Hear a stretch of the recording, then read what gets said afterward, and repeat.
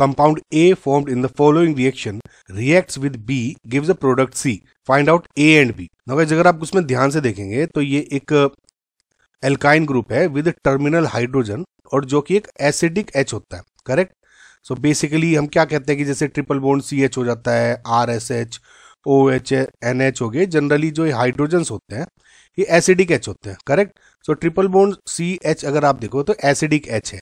तो जनरली क्या होता है इसमें कि आ, मैं अभी आपको बता भी दूँगा कि रिएक्शन कैसे होती है।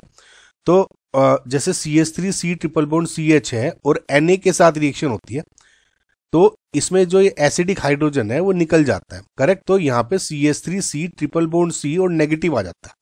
करेक्ट और ये आता कैसे है? मैं आपको एक बार पहले बता देता हूँ। देखिए क्या होगा कि फॉर एग्ज़ाम्पल जैसे आपका यही वाला कंपाउंड है ना? तो इसमें जैसे सोडियम है वी नो कि सोडियम बहुत अच्छा इलेक्ट्रोपॉजिटिव एलिमेंट है और वो बहुत जल्दी अपना एक इलेक्ट्रॉन डोनेट कर देता है करेक्ट अब जब ये इलेक्ट्रॉन है, किसी भी एसिडिक एच पे, जैसे मैं आरओएच ले लूँ, इस पे अटैक करता है करेक्ट और ये जो, देखिए बॉन्ड है इस पे, दो इलेक्ट्रॉन्स हैं तो ये पूरा का पूरा यहाँ पे आ जाता है ओके तो आर ओ नेगेटिव बन जाएगा, और प्लस एच रेडिकल बन जाता है, जो ये इलेक्ट्रॉन है, इस पर ये वाला हो गया। Okay and hence we can say कि जो आर ओ नेगेटिव है, या इधर ये बन गया करेक्ट तो ये वाला प्रोसेस इसमें बेसिकली फॉलो होता है। नाउ ये तो हो गया आपका, जो आपका प्रोडक्ट ए बना था। अब इसमें कह रहे हैं कि इसने बी के साथ रिएक्शन करी होगी और ये कंपाउंड बना।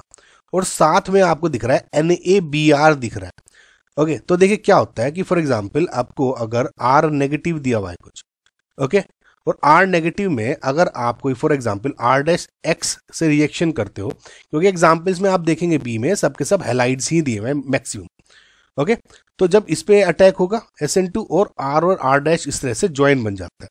तो सेम कंसेप्ट इसमें लगेगा, बस आपको ये देखना है कि जो आर पार्ट है हेलाइड में आर एक्स में, वो क्या होगा। अब देखिए C S three C negative C ये वाला जो पोर्शन है, वो तो ये अवेलेबल हो गया। इसका मतलब जो ये वाला पोर्शन है इसमें बी आर जुड़ा होगा, यानी C H two C H three और ये अगर मैं बी आर जोड़ देता हूँ यहाँ पे तो अब क्या होगा, जैसे ये वाला अटैक करता है यहाँ पर, ये बोन्ड ब्रेक हो जाएगा आपका करेक्ट और हैंस इन रिटर्न आपको क्या बन जाएगा ट्रिपल बोन्ड सी और इसके साथ C H two then C H two and C H three बन गया। और क्योंकि बी आर नेगेटिव बना था, और आपका रिएक्शन में इनिशियली मैंने क्या कहा था एन ए प्लस वो इलेक्ट्रॉन था एन ए प्लस के साथ मिलकर, और ये बी आर नेगेटिव मिलकर आपका एन बना देता है। ओके तो क्या हो गया? ये आपका हो गया बी दिस इज़ ए समझ में तो इसके अकॉर्डिंग जो आपका ऑप्शन नंबर वन है इज़ योर फाइनल आंसर